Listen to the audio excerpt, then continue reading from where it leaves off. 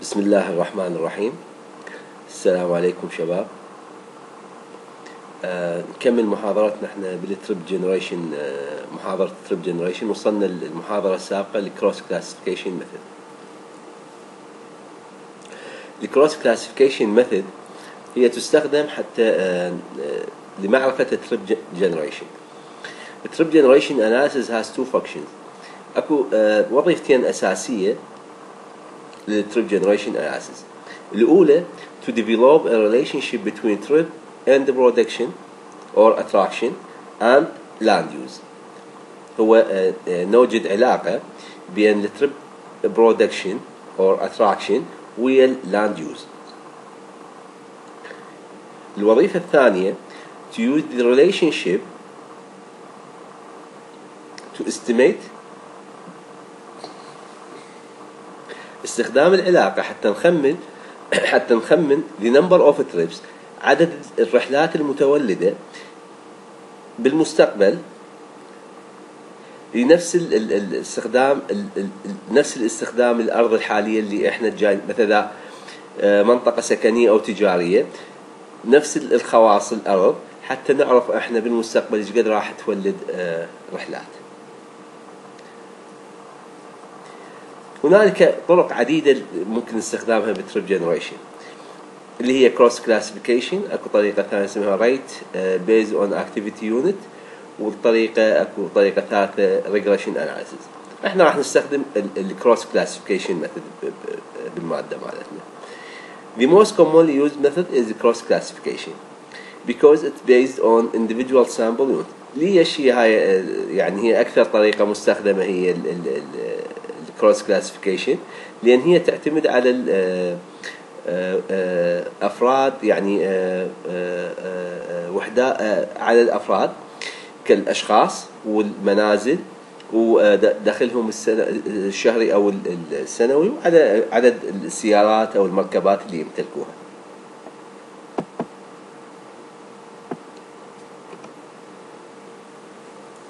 Cross classification is a technique developed by the Federal Highway Administration هاي هي الطريقة أو تقنية طورتها ال Federal Highway Highway Administration وكالة أمريكية هاي to determine the number of trips that begin or end at the home. إذا هي هاي ال cross classification هي يعني تختص بحساب عدد الرحلات اللي تبدي أو تنتهي بالبيت بال home. مثل ما قلنا بالمحاضرة السابقة أن أكثر من 85% من الرحلات هي تجي home based trip فاذا هاي الطريقة تغطي 85% تقريبا من ال trip من عدد الرحلات بشكل عام. home based trip generation is a useful value because it can represent a significant proportion of all trips. يعني واضحة هي يعني فد مفيدة جدا ال home based trip generation because يعني لأن هي تمثل لنا مثل ما قلنا 85% من عدد الرحلات. الخطوة الأولى مثل ما بال slide السابق قلنا هو نطور علاقات بين ال socio economic وال trip production.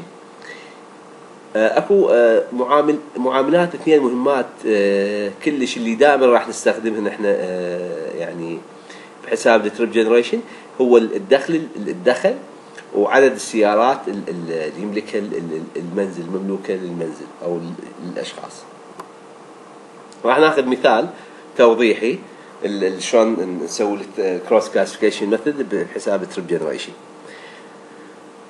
عندنا ال table رقم 12.1 هاي أكو عندنا 20 بيت سووا لهم home interview وهاي كانت الأسئلة اللي يسألوه يعني تسأل للناس بذول العشرين بيت هاي عدد المنازل اللي هي قوبلت. الأسئلة كانت عدد الرحلات اللي سووها باليوم. هذا العمود يمثل هاي عدد الرحلات. وأيضا الدخل السنوي للأسرة الساكنة بهذا البيت. يعني مثلا والسؤال الأخير كم عدد السيارات المملوكة اللي موجودة بالمنزل هسه؟ حتى لو مملوكة اللي موجودة بالمنزل.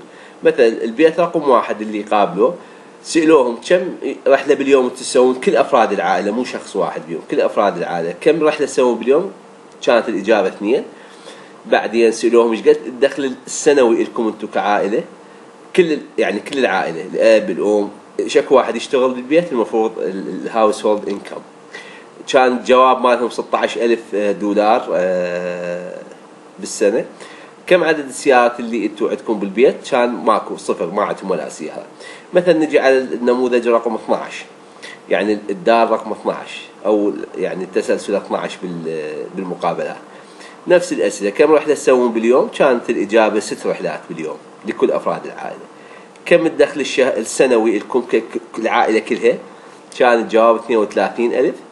كم سيارة أنتم آه يعني عندكم بالبيت؟ سيارة واحدة. إذا نجي على رقم 15 بيت رقم 15 نفس الحالة. كم عدد الرحلات اللي يعني يسوونها؟ هاي الأسئلة اللي كانوا يسألوها. هي عشر رحلات. الدخل السنوي 44 ألف. مثلا كم السي... عدد السيارات اللي موجودة؟ هي سيارتين. فهسه إحنا نبدي هاي البيانات. نحاول نربط نسوي علاقة بين مثلا الدخل وتأثيره على عدد الرحلات أو السيارات وتأثيرهن على يعني عدد السيارات تاثيرهن على الرحلات.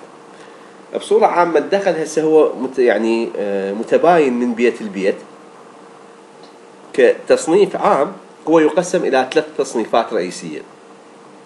يعني الدور ذات الدخل الواطئ ال low income والدور ذات الدخل المتوسط أو المنازل ذات الدخل المتوسط اللي هي medium income واللي الدور ذات الدخل العالي يسمونه ال high income وهاي يعني مثلا نقول من 24 ألف فما دون نقدر نعتبرهم ذولي low income من 24 كذا رقم ال 40 medium من 40 وفوق هذا يعتبر هاي هنا إحنا مقسمينهم آه، آه، قبل لا نقسم هذا ال table هو سوينا آه، ال income من الأقل للأعلى. يعني إحنا بالبداية كان بهذا ال slide ال income هنا 16 24 68 وبيرجع 18 يعني كانت البيوت مني يقابلوها بشكل عشوائي. هنا أخذنا هاي العينه العينة. بالإكسل رتبتهم أنا من الاوطى للأعلى حتى نعرف ان راح نقسمهم قلنا على شكل يعني نقسم المنازل على الإنكم مالهم لفترات معينة. هنا قس نجي. هنا. فصارت التقسيم مالتنا من 24 ألف فما دون هاي آه، يعني interval من 24 ألف لحد 36 interval ثاني. من 36 ل 48 و 48 60 لحد ما نوصل أكثر من 60 فصار عندنا خمس تقسيمات. هسه الخطوة الأولى هو نجد علاقة اللي هي shows the number of household عدد المنازل و as a function of auto ownership and income grouping. هسه ال income grouping إحنا سويناها من أربع قلنا أقل من 24 من 24 36 36 48 وهكذا. بعدين نجي نقسم السيارات. اللي يمتلكون سي صفر ما عندهم سيارة اللي عندهم سيارة واحدة واللي عندهم آه، سيارتين أو أكثر. فنجي هنا.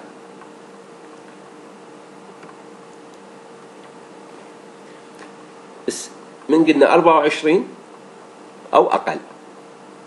فنبدي منها. كم بيت هذول اللي دخلهم 24 أو أقل؟ هم هذا يعني واحد اثنين ثلاث هم ثلاث منازل. دخلهم. يعني ثلاث منازل نقدر ضمن هاي الخانة أو هاي الفترة. نجي. زين 24 كم بيت من ذني ال 24 عندهم صفر سيارة؟ ما عندهم ولا سيارة. بيتين. إذا بيتين ما عندهم ولا سيارة. كم بيت عنده سيارة واحدة؟ بس هذا رقم خ... يعني دار رقم خمسة. عندهم آه، سيارة واحدة فواحد.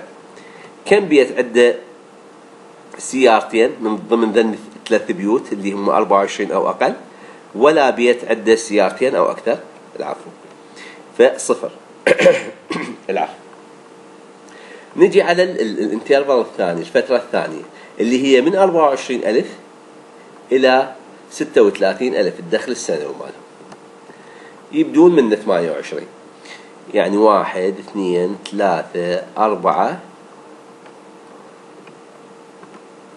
لحد ستة وثلاثين خمسة يعني خمس بيوت.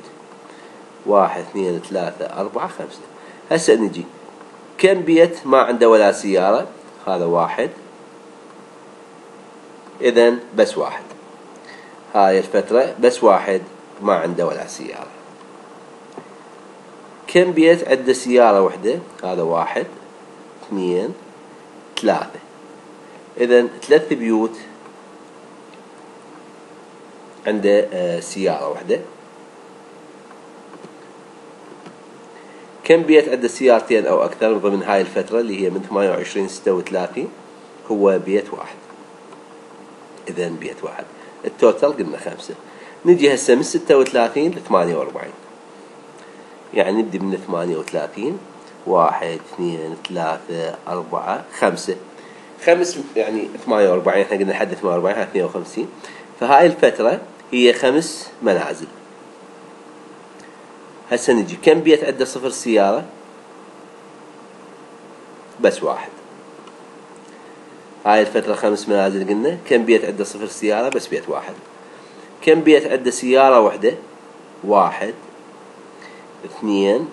اثنين. اثنين.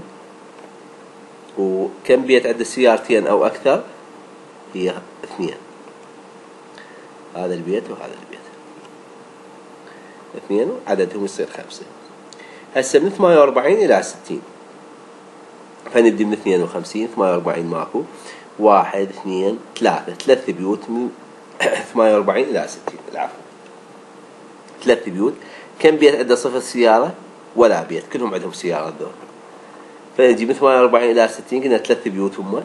صفر كلهم عندهم سيارات. هسه هم كم بيت عنده سيارة واحدة؟ ها بس بيت واحد. وبيتين عندهم سيارتين أو أكثر. واحد اثنين. هسه أكبر من ستين اللي يبدي من 68 واحد اثنين ثلاثة أربع بيوت. أربع بيوت. كم بيت عنده؟ ما عنده آه، سيارة. كلهم عندهم سيارات فالصفر فنجي أربع بيوت هم. آه، ولا بيت يعني صفر كلهم عندهم سيارات. نجي نشوف كم بيت عنده سيارة واحدة بس بيت واحد. بيت واحد.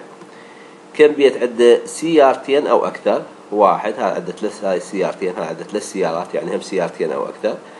وهذا البيت الأخير هم عنده ثلاث سيارات يعني سيارتين أو أكثر. إذا ثلاثة. ثلاث فثلاث بيوت عندهم سيارتين أو أكثر. هنا ذني بنجمعهم total صاروا 20 وهنا نفس الحالة هذا بس لل check يعني نخليه مال ال check ات هسه الخطوة الثانية نسويها على شكل نسبة مئوية. يعني إحنا هنا آه عددهم ذولي ثلاث بيوت اللي هم ضمن هاي الفئة من من 24 ألف أو أقل هم ذول عدد ثلاثة. فنشوف إيش قد النسبة المئوية من المنازل اللي دخلها من 24 ألف وأقل نسبتهم المئوية ضمن هاي الفترة إيش قد؟ اللي ما عندهم سيارات. وش قد النسبة المئوية اللي عندهم سيارة واحدة؟ وش قد النسبة المئوية اللي عندهم سيارتين أو أكثر. فنجي نجي هنا راح نقسم الاثنين على ال total على الثلاثة. فاثنين على ثلاثة point ستة سبعة. وهنا الواحد تقسيم ثلاثة هي راح تصير point ثلاثة ثلاثة والأخير صفر تقسيم واحد صفر. هاي النسبة المئوية. نجي على كل خانة أو على كل فترة هسه نفس الحالة. هم إيش قد ال total خمسة. فنشوف إيش قد النسبة المئوية ضمن هاي الفترة بس ضمن هاي الفترة. إيش قد نسبة النسبة المئوية من المنازل ضمن هذا الدخل؟ يعني دخلهم من 24 ألف ل 36 ألف هم ما يمتلكون سيارات. فنقسم واحد على خمسة فعشرين بالمية بينه ونجي نشوف كم عدد ال ال ال النسبة العفو مو العدد النسبة المئوية للمنازل ضمن هاي الفترة بس بس هاي الفترة من 24 ل 36 إيش قد نسبتهم؟ وين؟ نقسم 3 على 5 وهي تصير 60 point 6 أو 60% وش قد نسبة اللي عندهم سيارتين أو أكثر؟ في واحد إلى خمسة فتصير 20 فهي راح تصير point 2 point 6 point 2 نجي هنا point 2 point 6 point 2 آه نفس الحالة الفترة من 36 ل 48 نقسمهم واحد على 5 point 2 2 على 5 point 4 و2 على 5 point 4 بنفس الطريقة هاي. وبنفس بقية الفترات بنفس الطريقة. الغاية من هاي هو حتى نشوف كنسبة مئوية إيش قد عدد أو العفو إيش قد نسبة المنازل اللي ما عندهم سيارات ضمن هاي الفئة ضمن الدخل اللي هم من 24 أو أقل. وبعدين نجي نرسم الخطوة اللي وراها نجي نرسم هذا العمود يعني نرسم نسبة المنازل اللي ما عندها سيارات بالاعتماد على اليمن على الدخل. يعني بالإكس أكسس راح يصير لنا هذا. المحور الأفقي راح يصير هو ال income. المحور العمودي راح يصير لنا النسب المئوية. راح يصير شكل curve نجي نرسم curve ثاني بنفس الحالة. ال income هذا بعد المحور الأفقي عرفناه هو الإنكم. نجي نرسم نسبة النسبة المئوية للمنازل اللي عندهم سيارة واحدة لمختلف الفئات لمختلف الفترات اللي هنا ونرسم كيرف ثالث بنفس الطريقة فيطلع لنا هذا الشكل فنجي مثلا اللي هم صفر سيارة اللي هو الأزرق الفاتح هذا فشوف اللي هم دخلهم السنوي قليل كانت هاي نسبهم يعني بوين ستة سبعة هاي الفئة وبعدين تتناقص ويا كل ما يزيد الدخل كل ما النسبة تتناقص. ليش قلنا إحنا لأن هو كل ما يزيد الدخل الناس تقدر تشتري سيارات فاللي دخله قليل أكيد هو ما ما عنده إمكان يشتري فتصير نسبتهم عالية. فمبين هذا من هنا راح نجي نشوفهم. هي الدخل منا يعني هذا الدخل هو 13 25 27 بالألف. فنشوفه هنا عالي ويبدي كل ما يزيد الدخل هو شنو جاي يصير بال curve؟ ينزل. نجي اللي عندهم سيارة واحدة هو الأزرق. نشوف القيم مالته. اللي عندهم سيارة واحدة هم هذول خلينا نقول اللي ال ال آه يعني دخلهم قليل هم نسبتهم point ثلاثة. بعدين تزيد هاي النسبة للدخل المتوسط. بعدين من تزيد ال ال الإمكانية عند الناس يعني إن كم يزيد خاصة أصحاب الرواتب العالية أو مش بس أصحاب الرواتب العالية. مثلا بيت بيفد ثلاث أربع موظفين هذا البيت. فذول أكيد يعني مجموع داخلهم السنوي أعلى من بيت بس شخص واحد بيه حتى لو هذا الشخص راتبه عالي بس من يجي أربع خمس أشخاص مثلا اخوان يشتغلون يعني عايشين بنفس البيت وهم يشتغلون أكيد رواتب عندهم ذولي فراح يصير دخلهم كعائلة أو كمنزل دخله راح يصير أكثر عدد السيارات راح يصير أكثر. فتشوفه. اللي هم دخلهم واطئ يعني نسبة معينة بعدين يزيد للدخل المتوسط بعدين من تزيد الدخل الدخول العالية راح تقل. ليش؟ لأن دول راح تكثر سياراتهم. فنجي نفس الحال نشوف هنا. فهذول بالبداية قلنا لأن دخل واطي قليل بعدين كل ما يزيد الدخل للفترة المتوسطة هاي زاد وصل لل يعني الأقصى قيمة. بعدين من يزيد الدخل إيش راح يصير؟ تقل نسبة الناس اللي عندهم سيارة. في حين اللي عندهم سيارتين أو أكثر هم ذولي اللي رواتبهم قليلة. يعني آه، راح يكون آه، آه، أكيد عنده سيارتين يعني اللي راتبه قليل ما عنده سيارتين في حين كل ما يزيد الدخل كل ما هذا يزيد يزيد عدد امتلاكه للسيارات. فنشوف هاي العلاقة طردية. كل ما يزيد الدخل كل ما يزيد عدد السيارات. هنا بالتيبل واضح. فالناس اللي دخلهم أقل من 24 ألف أكيد ما عنده سيارتين لأن دخله واطي. بعدين تبدي شوية تصعد من الدخل 24 36 أكو نسبة يعني 20% بعدين 36 بدأت تزيد 40 67 75 فهاي العلاقات رسمناها. هاي اللي على المثال مالتنا ال 20 بيت. هنا راح نقارنها ويا آه نقارنها ويا figure هذا ال figure هو جاينا من آه يعني آه من مدينة واشنطن سنة 1977 بال 1977 مسوين دراسة آه بنفس الطريقة مالتنا مدينة واشنطن بأمريكا. فكانت هذا ال curve ات فنجي اللي صفر سيارة هذا الخط. فالصفر سيارة اللي ما عندهم دول ال income قلنا مثل ما قلنا مقسمينها low medium و high. مثلا ال low income هم اللي أقل من 32 ألف. ال medium من 32 ألف ل 48 ألف واللي أكبر من 48 ألف هم يعتبروهم high. فنجي هنا اللي عنده صفر سيارة شوفوا هنا شباب اللي عنده صفر سيارة كل ما يزيد اللي الانكم مالهم قليل أكيد ذول ما عندهم سيارات فنسبهم عالية. بس من يزيد الانكم إيش راح يصير؟ الناس راح تشتري السيارات فهم ما راح يصير ما عندهم سيارة. فراح يصير هو علاقة عكسية. كل ما يزيد الانكم إيش راح يصير بيهم؟ هذول الأشخاص راح يمتلكون سيارات فراح يغادرون هذا الكير. مثلنا إحنا قلنا نفس الحالة بهاي الطريقة نفس الشيء. بعدين اللي عندهم سيارة واحدة هم نفس الطريقة. يبدون قليل يصعدون لنسبة لحد ما يوصلون لل optimum أو ال maximum بعدين النوب يرجع ينزل. إذا نقارنه ويا ال figure مالتنا بنفس الطريقة. وبعدين ال curve الأخير اللي هم اللي عندهم سيارتين دول الدخل القليل أكيد دول ما عندهم سيارات. كل ما يزيد الدخل نسبة اللي عنده سيارتين أو أكثر ترتفع لحد ما ذول يصير رواتبهم عالية أو مجموع الدخل عالي. راح تصير ال curve راح يكون بشكل طردي مثل إحنا آه، مثل ال curve اللي عندنا. هذا حتى ن check عليه. هسه الخطوة الثانية بحل السؤال. نسوي علاقة بين عدد الرحلات ال average number of trip معدل عدد الرحلات لكل يعني نفس الفترات نفس الفترات ال income اللي مسوينها وعلاقته بال آه، آه، بعدد امتلاكهم للسيارات. فمثلا نجي البيوت اللي هم من 24 أو أقل إيش قد معدل عدد الرحلات اللي ما عندهم سيارات؟ وإيش قد معدل معدل عدد الرحلات اللي عندهم سيارة وايش قد؟ آه، معدل اللي ما عندهم سيارة. فنجي هنا بنفس التيبل اللي بدينا منه. قلنا من 24 أو أقل. من 24 أو أقل.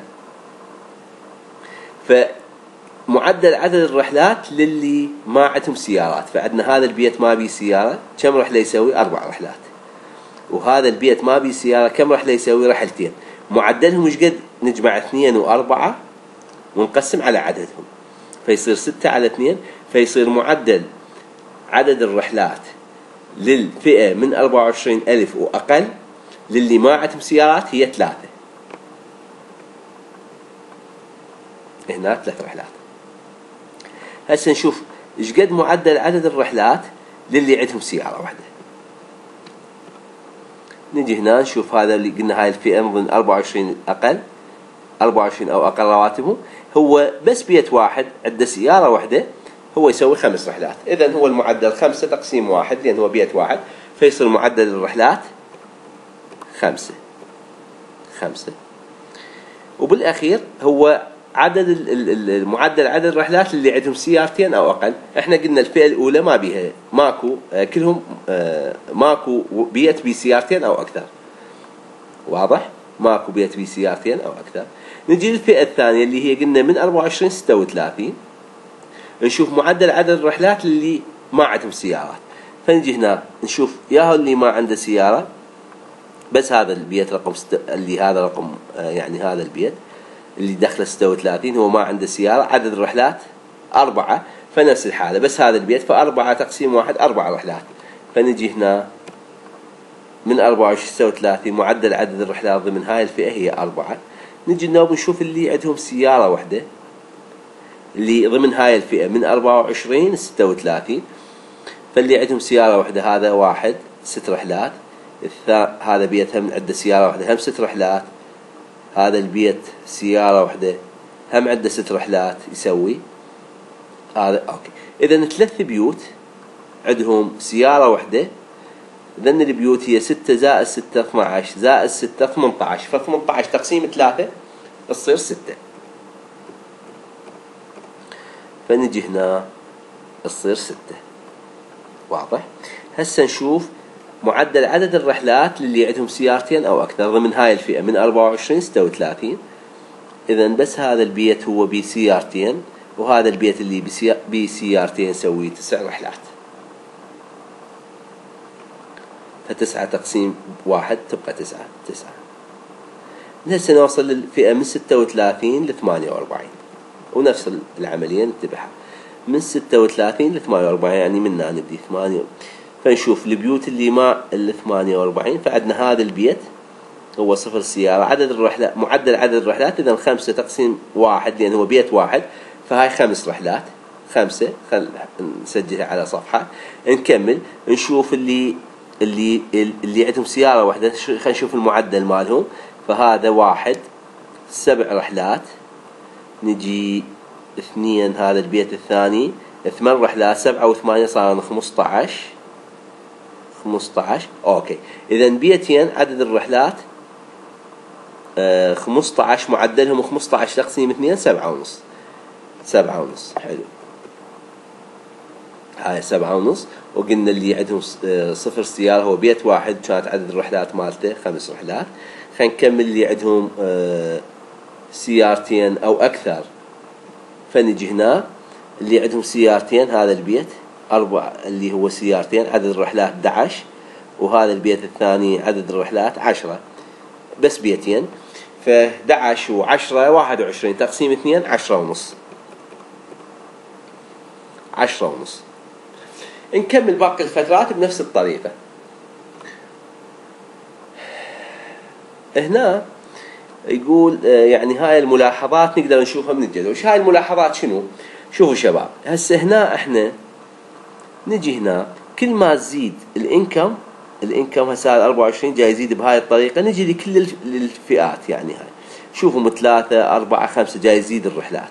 هنا بنفس الحالة خمسة ستة سبعة ثمانية ونص ثمانية. يعني كل ما يزيد الإنكم عدد الرحلات يزيد عدد الرحلات جاي يزيد. هنا نفس الحالة تسعة عشرة ونص 11 ونص 12 مقارنة ثانية كل ما تزيد السيارات يعني هاي صفر واحد كل ما تزيد عدد السيارات عدد الرحلات تزيد حتى لنفس الفئة. يعني هاي الفئة هسه اللي هم 24 أو أقل. نفس الفئة. بس شوفوا هنا عدد الرحلات اللي ما عندهم سيارة ثلاثة في حين اللي عندهم سيارة خمسة أكثر. نجي على الفئة الثانية اللي هي من 24 36 هم نفس الدخل يعني هذا البيت هو نفس الدخل نفس الدخل تقريبا هم متساويين ضمن نفس الفئة. بس من اللي عنده صفر ما عندهم سيارة عدد رحلاتهم أربعة في حين نص عندهم سيارة تصير ستة ومن عنده سيارتين أو أكثر تسعة. حتى لو نفس الدخل. وبهاي نفس الحالة. شوفوا خمسة سبعة ونص عشرة ونص. إذا ها شنو يعطينا انطباع؟ نقدر هيك نسوي قاعدة عامة نقول كل ما تزيد عدد السيارات بالبيت تزيد الرحلات وياه. بغض النظر عن هم إيش قد الدخل مالهم لأن هنا هسه مختلف الدخول الدخول هنا مختلفة بس عدد امتلاك السيارات لكل فئة إذا نقارنها بنفس جاي يشوف جاي يزيد. الملاحظة الثانية هو كل ما يزيد الدخل كل ما يزيد عدد السيارات عدد الرحلات لنفس يعني للناس اللي ما عندهم سيارات يعني البيت اللي ما بيه سيارة. كل ما يزيد الدخل مالته يزيد الرحلات. البيت البيوت اللي بيها سيارة واحدة كل ما يزيد دخل البيت كل ما شنو؟ تزيد الرحلات. واللي البيوت اللي بيها سيارتين أو أكثر كل ما يزيد دخلهم تزيد رحلاتهم. وهاي إحنا حكيناها بالمحاضرة السابقة يعني. قلنا علاقة عدد السيارات ويا الرحلات. هاي هي الملاحظات اللي نقدر آه، نستخلصها من الجدول. بنفس الطريقة مال رسم الفقرات السابقة نجي نفس الحالة. نخلي هذا الإنكم هو المحور الأفقي ونرسم للناس اللي هم صفر سيارة. نرسم لهم عدد الرحلات عدد الرحلات. يعني هذا الأفقي هذا العمودي راح يصير. نجي نوب عندهم سيارة واحدة نفس الحالة. المحور الأفقي راح يصير إنكم ونشوف عدد الرحلات اللي عندهم سيارة والفئة يعني واللي عندهم سيارتين أو أكثر بنفس الطريقة. فنشوف هنا راح يصير لنا هذا الفقر فتشوفوا هنا آه فاللي عندهم صفر سيارة هو الأزرق. فكل ما يزيد إحنا هاي مخت... يعني متفقين كل ما يزيد الإنكم كل ما تزيد عدد الرحلات. هاي عدد الرحلات هنا وهذا الإنكم. فهي كلهن علاقات طردية باتجاه يعني للزيادة. وبنفس الحالة اللي عدد اللي ما عندهم سيارة هو الأزرق صاير اللي جو عدد رحلاته أقل اللي عندهم سيارة واحدة الأحمر صاير بالنص يعني أكثر هم من الأزرق وبعدين اللي عندهم سيارتين أو أكثر شوفوا عددهم زاد. هذا الفقر أنا هم نفس الحالة تسوي مقارنة وياه من من نفس المدينة من نفس الدراسة مسوينها بنفس الطريقة. اللي عندهم صفر سيارة شلون جاي يزيدون؟ اللي عندهم سيارة واحدة هم بالنص واللي عندهم سيارتين أو أكثر هم آه، يعني الفئة العالية يعني عدد number of trips هنا وهنا آه، اللي ال income. اللي هنا هو الحل خلاص يعني إحنا لقينا علاقة سوينا علاقة بين ال ال ال يعني ال cross classification method اللي استخدمناها. هي قلنا نسوي علاقات بين ال income وعدد الرحلات وبين امتلاك السيارة وعدد الرحلات. حتى بعدين هاي العلاقات إحنا نقدر نستخدمها آه، آه، معرفة عدد الرحلات واللي إحنا نقدر هسه آه، من الفقر هذا نعرف إحنا نقول امتلاك السيارات للفئة اللي هم عندهم سيارة واحدة ودخلهم مثلا أربعين ألف. فنقدر نعرف عدد السيارات هو عدد الرحلات ثمانية أو سبعة مثلا. طبعا هي إحنا العينة مالتنا قليلة عشرين ما نقدر نعممها عشرين بيت بس. بس مثل هذا الفقر هم مسوين مدينة واشنطن آلاف المنازل مقابلينها ومجمعين منها البيانات فمن الممكن اعتماد هذا الفقر.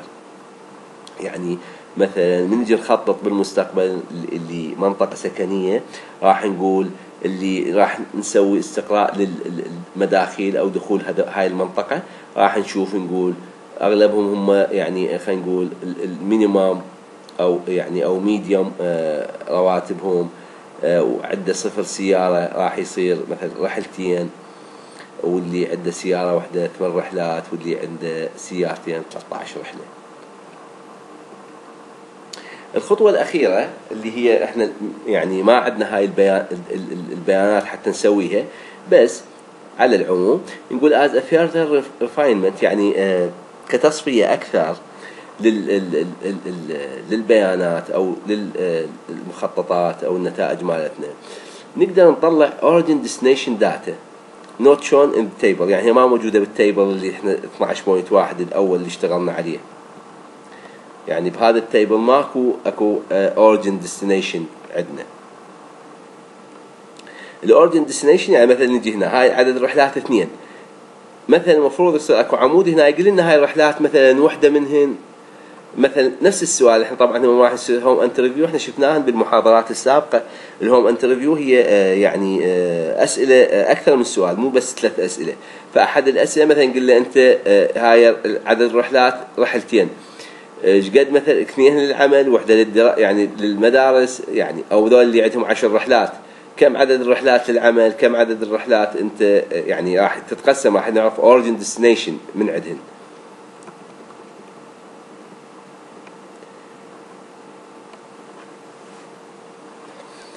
فحتى يصير ال home purpose ال trip purpose العفو. وهم نفس الحالة trip purpose وعلاقته إلمن بال income category. اللي اللي هاي البيانات هي جايبينها من نفس المدينة هم من واشنطن.